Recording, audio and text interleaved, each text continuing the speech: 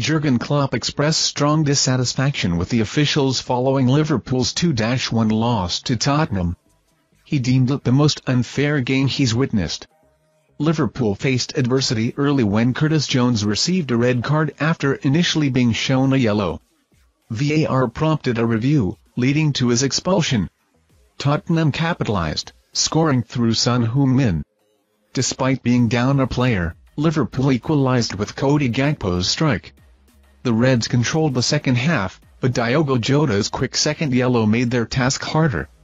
In the 97th minute, Tottenham secured a win with an own goal by Joel Matip.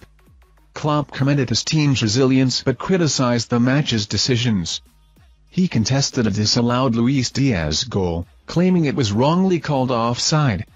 Klopp found it challenging to accept the officiating errors.